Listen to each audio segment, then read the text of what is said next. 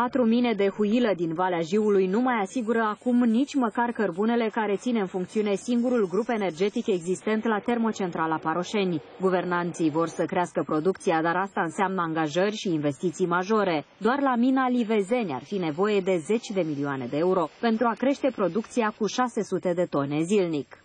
Lucrăm cu tiraje de peste 30 de ani. Ca să putem crește producția, ne putem intra pe stratul 13, cum avem un cărbune de calitate. Am o nouă producție între 7-800 de tone pe zi. Pe lângă investiția asta, trebuie minim 100 de angajări strict pentru front. Singur abataj mecanizat, un complex mecanizat, costă 16 milioane de euro. E schimbată toată tehnologia de subteranul minerul din Valea Jiului. Guvernul a anunțat deja că vom produce mai multă energie electrică din cărbune în contextul războiului din Ucraina.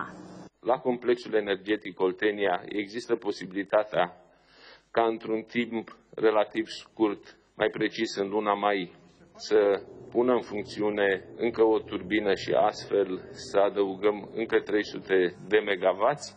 Faptul că unitățile astea merg și pot să producă energie de electrică din cărbune este un avantaj competitiv pe care noi îl avem. Asta asigură sau garantează în primul rând securitatea de alimentare, că dacă ai secetă poți să compensezi din cărbune și asigură și aspectele legate de lipsa importurilor. În Valea Jiului situația este însă tristă. Cei aproximativ 2500 de mineri care mai extrag cărbune lucrează cu ce au la îndemână și așteptau includerea în programul de închidere și a exploatărilor Livezeni și Vulcan. Alături de Lonea și Lupeni, cele două mine vor primi ajutor de stat pentru a încheia definitiv extragerea de huilă.